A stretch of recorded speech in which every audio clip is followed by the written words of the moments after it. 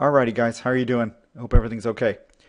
Uh, I got a little better microphone. I hope everybody can hear me well. Um, let's do this. I'm going to do this quick little video for preparing for the exam coming up. It's called Chain Links.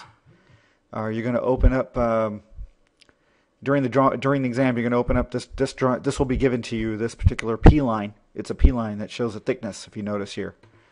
And what you're going to be doing is you're going to be inserting a chain link and following this P line all the way around.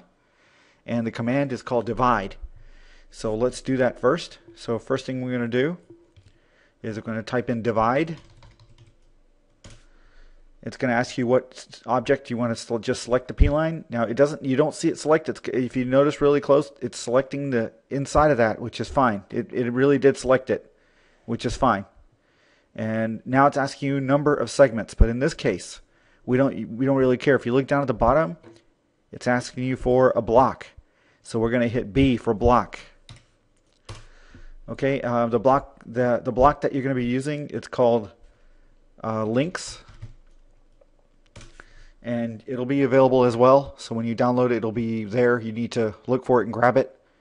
Um, if it doesn't find it, it should see it if it's in the same directory. Make sure you have everything in the same directory. Uh, it asks you to align block with object. You notice that, and it says right there. So I'm going to say yes, just default. So I'm going to hit enter. Enter the number of segments. Uh, for the chain link, I believe it's 44. So you need to remember that.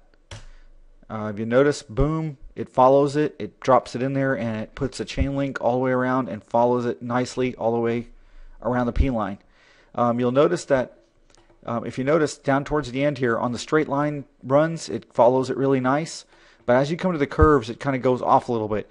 That's because the reference insertion point for these links is actually the center of uh, the link, which means that as you go around the curve, it stays off. The two circles come off because really it's the center here that's following the P line. Okay, it's the center of this chain link.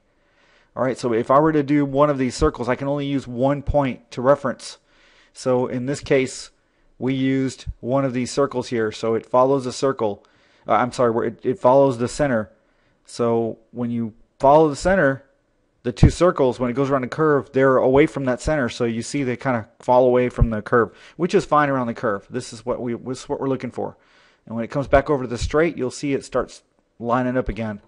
Goes to the curve, it kind of kicks out and follows the curve at that same distance all the way around, and then curves back and follows it. That's really all we're looking for for this one. It's called the chain links.